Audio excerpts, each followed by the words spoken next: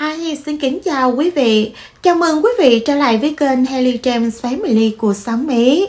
Thì quý vị ơi, quý vị nào mới xem kênh của Haley lần đầu, nếu thấy thích thì hãy cho Haley một like, đăng ký và chia sẻ nha. Cảm ơn quý vị rất là nhiều. Và hôm nay, câu chuyện này cũng là cuộc sống Mỹ. Sau khi quý vị nghe hết những gì Haley kể trong video này, thì kính mong quý vị hãy cho chị ấy một lời khuyên cũng giống như góp ý xem coi bây giờ chị nên phải làm gì, vì hiện tại chị đang sống trong một cái dòng lẫn quẩn. Bỏ cũng không xong, ở lại cũng không đành. Trong cái cuộc tình ở cái gia đình này, thì ông chú là người khốn nạn hay đứa cháu là một đứa cháu gái lâm loàn kể ra trong nghẹn ngào và nước mắt. Chị tuổi thân mấy tháng nay lâm vào một cái căn bệnh trầm cảm mà bây giờ không biết chia sẻ và kể cho ai nghe đây. Thì vô tình chị biết đến kênh của Haley rồi thì mạnh dạn nhắn tin ngay và Haley kết nối liền. Đây là cái duyên để chị em mình được gặp nhau. Rồi thì bắt đầu câu chuyện của chị ấy như thế nào thì kính mong quý vị hãy xem nhé. Chị kể trong nghẹn ngào và nước mắt. Haley không biết chuyện gì đã xảy ra và có chấn an chị rất nhiều lần. Mãi đến sau một tiếng đồng hồ, chị mới có thể bình tĩnh để kể lại câu chuyện ngay từ đầu cho đến cuối. Chị nói, cuộc đời của chị đã bất hạnh, không cha không mẹ ngay từ nhỏ. Chị được người dì ruột nuôi là chị gái của mẹ nuôi chị sau khi ba mẹ bị tai nạn qua đời. Đến khi chị 21 tuổi, chị được gia đình ở bên dì đó, bên chồng của dì làm mai cho một người Việt Kiều. Thì chồng chị hiện tại khi đó về Việt Nam gặp chị là ưng ngay. Vì chị cũng được gái và đặc biệt không dướng bận một ai hết về gặp mặt lần đầu, lần sau tổ chức cưới, ta nói khi chị bước lên xe hoa một bước và hai bước bước chân qua tới Mỹ, coi như tất cả mọi thứ đều do người lớn sắp xếp. Vì chị không thể nghĩ và cũng chẳng tưởng tượng được rằng là sau khi lấy chồng cuộc sống của mình như thế nào đây, rồi khi qua Mỹ là cuộc sống như thế nào nữa. Ta nói bao nhiêu cái suy nghĩ ở trong đầu rồi dần già cũng quen. Chị đánh giá người chồng của chị thật sự tốt. Anh ấy biết yêu thương, lo lắng, chăm sóc và đùm bọc cho chị. Và ảnh luôn nói, đây là gia đình của mình. Anh sẽ bù đắp tất cả mọi tình yêu thương mà từ đó đến nay em đã không có. Mặc dù không có tình thương của cha mẹ thôi, nhưng chị thật sự có tình thương yêu đùm bọc từ gia đình người gì nhưng khi chồng nói những câu nói ngọt ngào, êm ấm đó, chị tưởng chừng như mình được hạnh phúc nhất trên thế giới này. May mắn là đây là gia đình tuyệt vời. Sống hạnh phúc cho tới 20 năm, đến khi con trai lớn vào đại học, chị mừng lắm, mừng ghê gớm lắm và chị đã dạy cho con mình về cái cách sống nhân văn của một người mang văn hóa việt không phải ở Mỹ, là phải sống theo lối Mỹ, là không nghe lời cha, lời mẹ, không theo cái cách dạy dỗ của người Việt. Không phải chị muốn hướng con mình theo những gì mà chị đã được học và được trải qua. Con chị rất ngoan. Rồi nhớ lại những cái kỷ niệm của người gì nhớ lại những cái mà gì và gia đình gì đã ban đến cho mình để rồi mình mới có cuộc sống và hình hài như ngày hôm nay. Trả ơn bằng cách nào? Chỉ có bằng cách là cưu mang một, hai, ba đứa cháu nào đó để nó có cuộc sống ở bên mỹ giống như chị. Đến khi mà cháu của dì đó, gọi là cháu ngoại của dì, đến tuổi cũng cặp kê. Rồi dì cũng sợ nó hư hỏng ở việt nam. Dì mới nói với chị là, kiếm ai làm mai cho nó đi qua mỹ với. Để bên đó có gì và dượng cho nó đỡ phải hư hỏng. Vì nếu ở việt nam mà xảy ra cái chuyện gì, mang một cái ba lô ngược là coi như khổ cả cuộc đời. Chị thấy vậy và nghe vậy cũng đồng cảm và thương lắm rồi tạo điều kiện tất cả mọi thứ. Không có một ai nhìn nó mà có thể chịu để kết hôn qua mỹ. Thì mới hối thúc nó, thôi, cố gắng kết thúc cái việc học, rồi làm một cái bộ hồ sơ qua mỹ du học. Nhưng rất may là con bé đó, tất cả hồ sơ nó làm coi như rất là suôn sẻ ngay từ đầu cho đến cuối. Đến khi lãnh sự quán cấp cho nó một cái visa mà tao nói cả nhà không ai có thể ngỡ ngàng được là con này nó đậu visa du học. Rồi khi qua mỹ, cái lối sống và cái con người của nó hoàn toàn không thích hợp với gia đình của chị. Mặc dù trong lòng chị luôn và nghĩ đến hai chữ mang ơn, nhưng làm sao để có thể theo nó hướng vào cái cuộc sống ở cái đạo đức trong cái gia đình mình mà chị đã cố gắng gìn giữ và nuôi nấng bấy nhiêu lâu nay. Nó qua mỹ, coi như nó không nghe lời dì dượng, nó không nghe lời anh nó nó không nghe lời bất cứ một ai hết. Sống ngỗ nghịch, ngang ngược hình như trong cái khuôn khổ gia đình của chị nó nề nếp quá.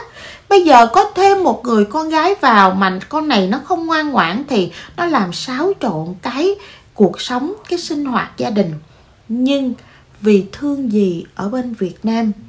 Vì nhớ lại những gì dì ấy đã nuôi nấng chăm sóc mình. Cũng vì hai chữ mang ơn mà chị phải đành chấp nhận tất cả mọi thứ khi con bé này đặt chân vào nhà mình. Nó ăn mặc hở hang, nó nói năng ngỗ nghịch, và nó đùa giỡn vô phép tắc. Coi như nó không biết dượng nó là ai, nó cũng không cần biết thằng anh nó đang độ tuổi lớn. Và chính bản thân nó cũng vậy. Chị ấy khuyên răng tất cả mọi thứ nhưng không được. Rồi nó đi học có hôm thằng anh nó đón. Có hôm nó đi xe bus. Rồi dượng cũng đưa đón. Tất cả mọi người trong nhà đều đưa đón nó, coi như thương yêu và chăm sóc nó. Chị và chồng có công việc làm trong hãng. Còn con chị thì nó đi học xa. Một tuần nó về nhà một lần. Thì cái phòng ngủ của con chị đó là nhường lại cho nó. Đến cái ngày nào mà con chị về đó thì con chị phải ngủ ngoài phòng khách. Vì nó là con gái đâu có để nó ra ngoài được. Cuối cùng mới ở có mấy tháng thôi mà ta nói cuộc sống gia đình nó không có ái vậy thì cuối cùng nó mới tuyên bố với chị như thế này.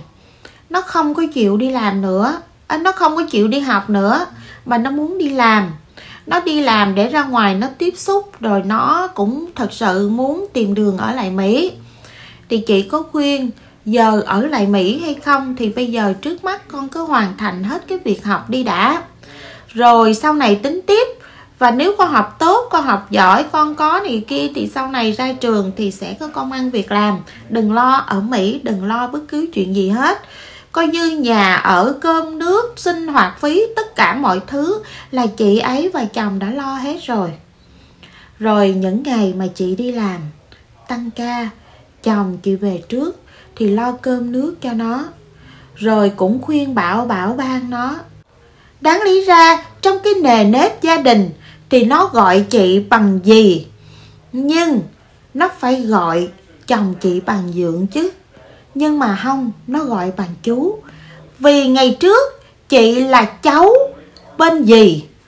Còn chồng chị là cháu ở bên chồng của gì?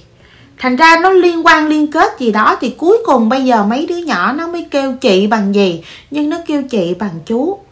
Ở lâu ngày, hai chú cháu mới bén, ta nói hồi nào không hay, lửa gần rơm. Ta nói nó bén hồi nào không hay.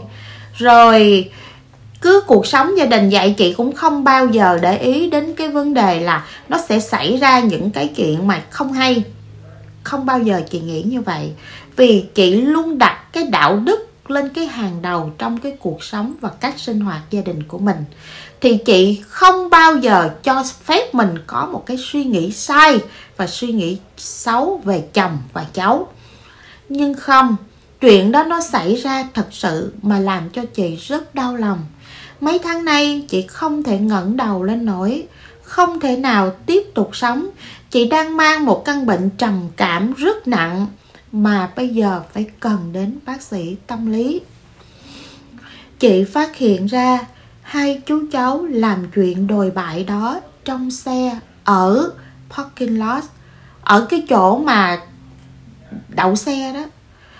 Chị nói là tuy 20 năm nay gia đình chị có một cuộc sống tốt, đề hoài sung túc Nhưng chị không có mua nhà Mà gia đình chị lại thuê một cái căn hộ chung cư Sống ở trên tầng rất là cao.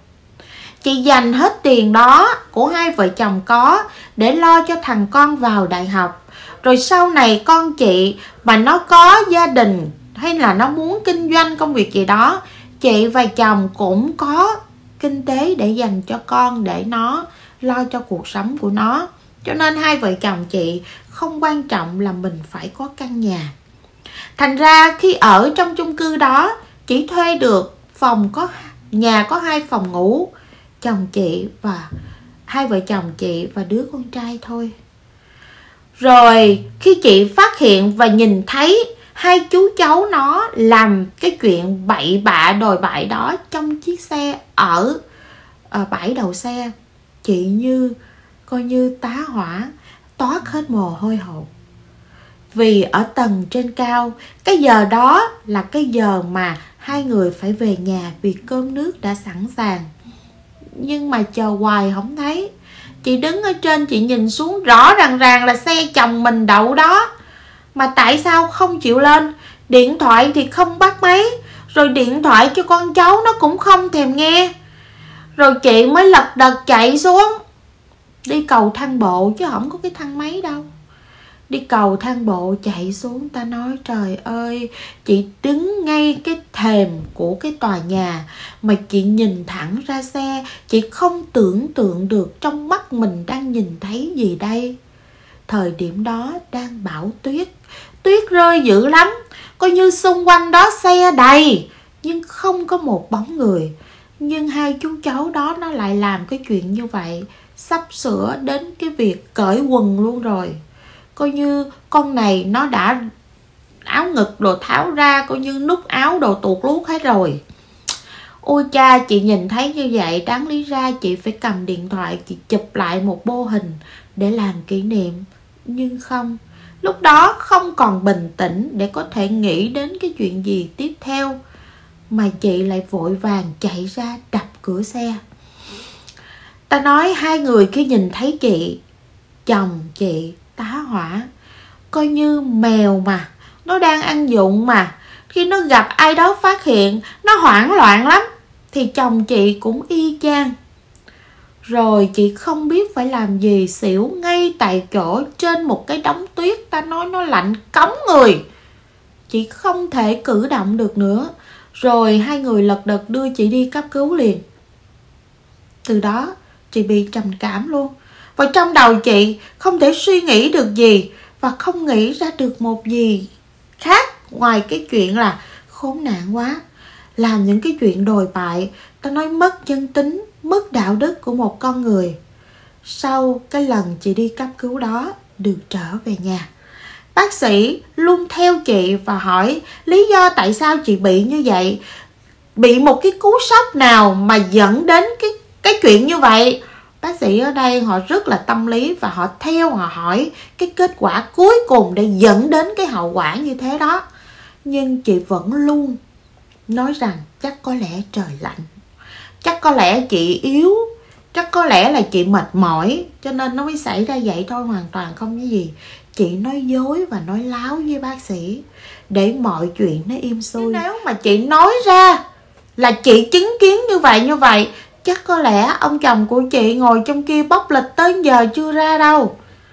Trời ơi, khi về nhà, cả hai con người đó rất là trơ trẽn khi đối xử tàn nhẫn với chị, rằng là không có một cái sự quan tâm nào. Chị ăn không ăn, mặc chị chị ngủ không ngủ, kệ chị. Bây giờ chị nằm trong phòng này, ổng nằm ngoài ghế salon, coi nó bất nhẫn chưa?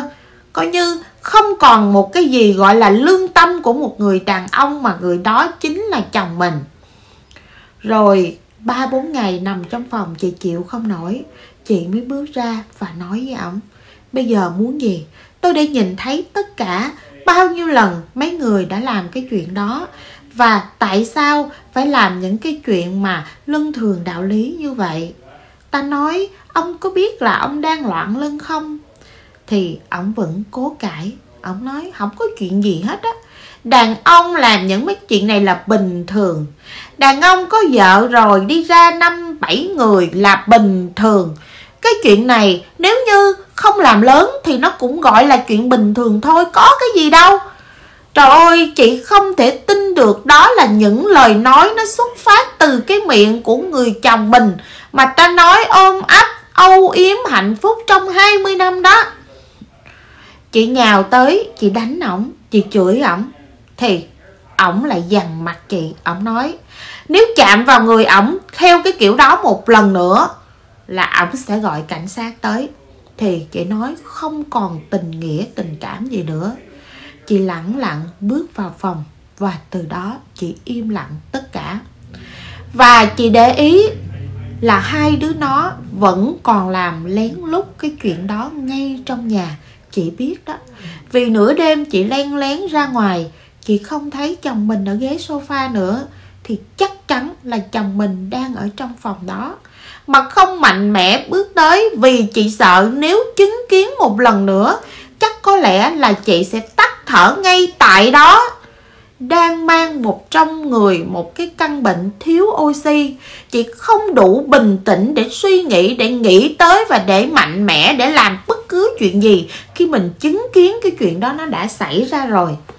Ta nói, phụ nữ hoặc là đàn ông hoặc là một con người nào đó có thể chia sẻ bất cứ những thứ gì mình có, nhưng không bao giờ người ta muốn chia sẻ cái tình yêu thương từ người chồng hoặc người vợ của mình cho bất cứ ai. Nói ra thì nói, trong tình yêu luôn mang lòng ích kỷ.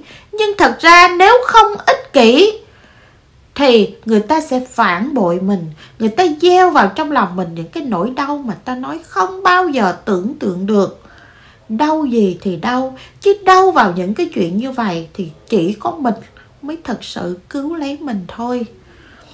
Rồi bây giờ sự việc nó xảy ra ba bốn tháng con bé đó vẫn còn sống trong nhà mình, nhưng không thể đuổi nó đi ra ngoài, cũng không thể kể cho tất cả những gia đình ở việt nam biết về cái con người của cái con bé này như thế nào. Và bây giờ chị phải làm sao đây?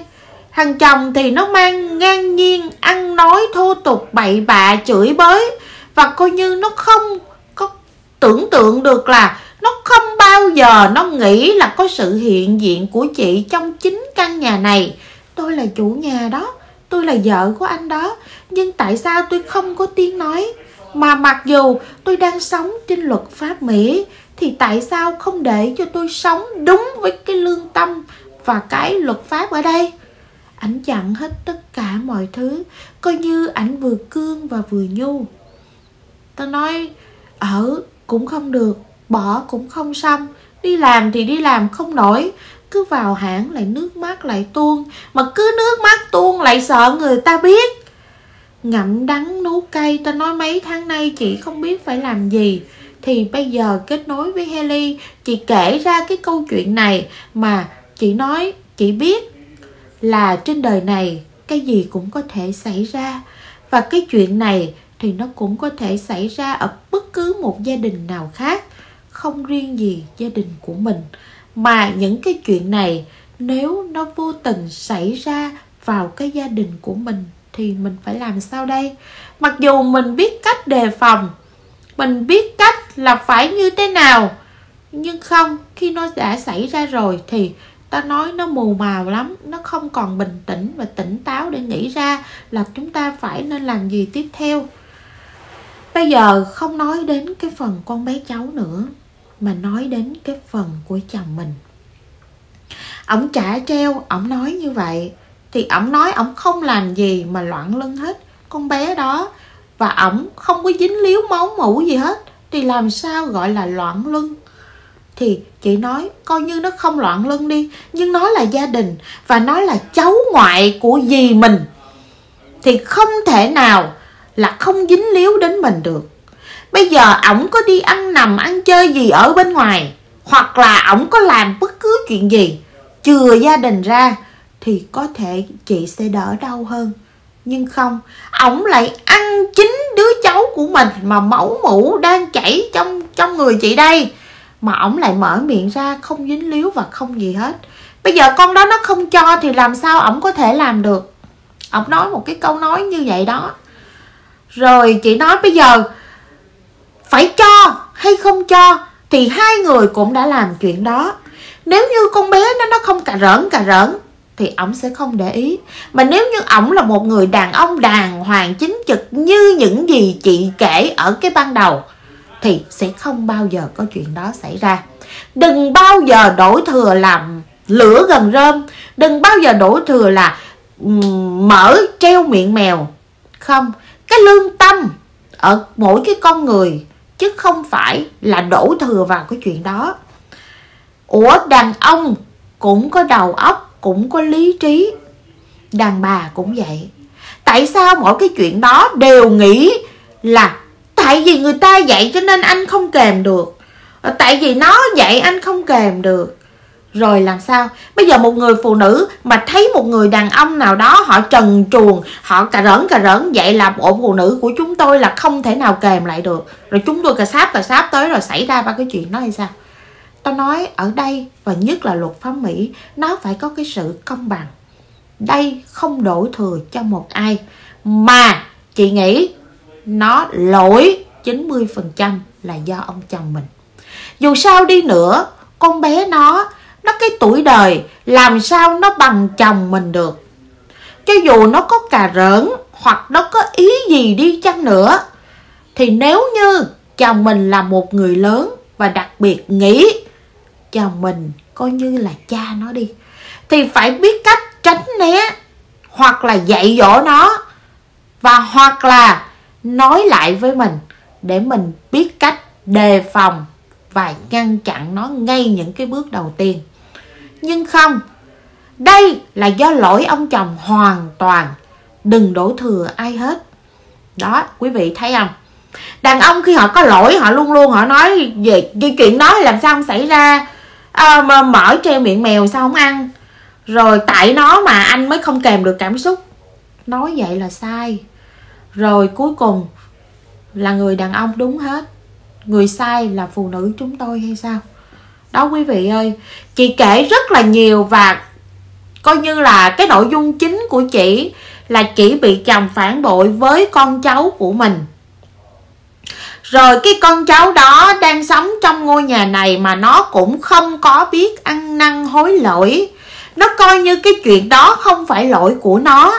Mà bây giờ chị mấy tháng nay nằm trong phòng và cứ nửa đêm len lén, lâu lâu mới ra len lén nhìn, thì thấy không có chồng mình ở cái bộ ghế sofa, thì chắc chắn chồng mình đang ăn nằm với nó trong căn phòng của thằng con trai mình. Nhưng chị không đủ sức mạnh mẽ để bước vào gõ cửa nhìn thấy, vì chị sợ chị sẽ tắt thở ngay tại chỗ khi mình chứng kiến một lần nữa. Khốn nạn cho cuộc đời này. Khi trung thủy, trung thành, tin tưởng đặt tất cả niềm tin vào trong một cái cuộc tình với ông chồng mình trong 20 năm nay để rồi chỉ một thoáng bước qua thôi là ông chồng mình lại làm mất đi tất cả những gì mà chị cố gắng gầy dựng. Sống đúng đạo lý, đúng đạo đức để mới có thể dạy được đứa con của mình nên người như ngày hôm nay. Mà hiện tại, bây giờ chị kể cho Haley nghe là Haley là người đầu tiên được nghe câu chuyện này trong gia đình của chị. Chứ kể cả thằng con trai của chị cũng chưa biết chuyện gì. Thì bây giờ chị kể ra đây. Chị cũng mong muốn là nhận được một cái lời khuyên. Và bây giờ chị cũng cầu cho ơn trên chỉ cho chị một cái hướng nào đó để mình biết là mình phải bước từ đâu và đi ra khỏi cái bóng tối, cái nỗi u ám này thì Haley có trò chuyện rất nhiều với chị, có khuyên chị rất nhiều. Bản thân chị hiện tại chưa tới 50 tuổi, tuổi đời còn trẻ lắm. Ví dụ như có thể tha thứ được thì tha thứ, mà không thể tha thứ được thì dứt khoát. Đừng kéo dài, đừng dây dưa và lương ương thì nó khổ và cuối cùng người khổ nhất vẫn là mình. Ở đây Haley không dám nói thêm nhiều về những gì Haley đã từng khuyên chị ấy và chia sẻ với chị ấy đúng cái tâm lý của những người đang bị trầm cảm. Thì Haley mong là tất cả quý vị mà xem kênh của Haley mà xem cái video này thì hãy cho chị ấy một lời khuyên và cũng mong quý vị góp ý cho chị ấy nên phải làm gì bây giờ cuộc đời này chúng ta chỉ sống một lần duy nhất. Nếu như chúng ta cố gắng được để đi tiếp hết cái đoạn đường này, thì cố gắng vượt qua. Còn nếu không thể, thì phải biết mình nên làm gì. Ở đây Haley không nói lên những cái suy nghĩ và những gì mà Haley đã nói đến với chị. Haley chỉ mong muốn là những gì Haley nói Haley giữ lại để chỉ mong muốn quý vị khán giả xem kênh, rồi xem cái nghe được cái câu chuyện của chị, thì góp ý và cho ý kiến. Vì chị kết nối với Haley chị cũng mong muốn được nhận những lời tích cực và những lời khuyên, những lời hữu ích để chị áp dụng. Vì hiện tại chị đang rất là bị tôi như thắt chặt nỗi lòng. Vào hãng thì cứ nước mắt rơi lã chả. Không thể nghĩ ra một cái điều gì thoáng hết. Và Haley cũng có nói với chị một cái câu như thế này. Khi nói ra, Haley biết nó sẽ không công bằng cho chị, không công bằng cho cuộc sống của chị. Nhưng Haley phải nói là trong cái hoàn cảnh, ở cái hiện tại bây giờ, chị nên nghĩ những cái gì tốt đẹp nhất mà anh chồng của chị đã từng làm với chị trong 20 năm nay. Cứ nghĩ tới những cái điều hay, những cái điều vui vẻ, những cái điều đẹp nhất mà ảnh đã dành cho chị thì lúc đó cái suy nghĩ và những cái cảm giác của chị hiện tại nó sẽ từ từ giãn ra. Ở đây mà mắc phải một căn bệnh trầm cảm là ta nói tội lắm quý vị tội lắm. Mà phải đúng, phải tìm đúng bác sĩ tâm lý. Mà đặc biệt bác sĩ tâm lý người Việt Nam mình càng tốt. Họ hiểu được cái cảm giác, cảm xúc và tất cả mọi cái giống như bác sĩ tâm lý người Việt Nam người ta hiểu về cái văn hóa người Việt của mình. Có thể giúp chị giải tỏa được nhiều hơn. Thì Haley chỉ khuyên được chị là cứ nghĩ tới những cái điều tốt đẹp mà ảnh đã dành cho chị trong 20 năm vừa rồi. Đừng nghĩ những cái mà chị đang nghĩ tới. Để ở đây, tự mình phải chữa lành bệnh cho mình. Tự mình phải cứu lấy mình, chứ không một ai và bác sĩ tâm lý chỉ giúp cho chị giải tỏa ngay chỗ đó và giúp cho chị uống thuốc để cho chị calm down cái cái cái nội tiết tố, cái feeling của mình xuống thôi. Và giúp cho chị có những cái liều thuốc để chị dễ ngủ. Ta nói gọi là an thần đó, cho chị tịnh tâm lại, để chị đi sâu vào giấc ngủ để sáng hôm sau chị khỏe mạnh thôi, chị không vướng vào những cái bệnh là mất ăn, mất ngủ này nọ kia. Nhưng đặc biệt là mình phải tự cứu lấy mình bằng những cái việc như vậy như Haley đã chia sẻ với chị. Đó thì đây là cái cái video mà Haley vừa trò chuyện với vị chị xong thì Haley lập tức chia sẻ liền để chị mong muốn được nhận những cái lời chia sẻ ấm áp từ tất cả những quý vị đang xem kênh của Haley Haley tin chắc rằng là những lời khuyên những lời góp ý của tất cả quý vị sẽ giúp cho chị ấy biết chị ấy biết là bây giờ mình nên làm gì? Nói ra nó không công bằng như Haley nói, nó không công bằng cho chị ở trong cuộc sống hiện tại. Nhưng ít ra chị cũng cứu được bản thân mình để rồi từ đó chị tĩnh tâm và chị bình tĩnh lại. Và chị sẽ biết mình làm gì ở cái bước tiếp theo cho cuộc sống gia đình của mình. Ở đây chúng ta không thể suối là chị nên bỏ ông chồng đi. Và chúng ta sẽ không bao giờ có một cái lời ủng hộ là ờ chồng chị làm vậy đúng, không? Chồng chị làm, đang làm rất sai và sai. Và cái con bé đó đang sống trong nhà chị nó cũng đang rất là sai. Nhưng chúng ta không gieo vào cái sai đó cho chị ngay từ bây giờ được. Vì hướng chị nghĩ theo cái điều tích cực trong cuộc sống của mình đi. Vì khi chị nhìn thấy cái chuyện đó, chị xỉu ngay tại chỗ để rồi bây giờ chị mang một căn bệnh trầm cảm là vì chị không đủ mạnh mẽ, ý chí của chị không có cao để chị có thể nghĩ mình phải làm gì không bình tĩnh được. Với những người phụ nữ khác mà khi họ đối diện với sự thật, họ rất là bình tĩnh, họ nên làm gì? Có người ngoảnh mặt đi, coi như không biết gì. Có người lấy điện thoại ra chụp hình quay phim để làm bằng chứng. Rồi có người cũng gào thét lên, đánh đập, la lối, âm sầm. Nhưng với chị, nó khác với người khác ở một cái điều là chị đang mắc bệnh thiếu oxy, là cái bệnh rất là là nguy hiểm.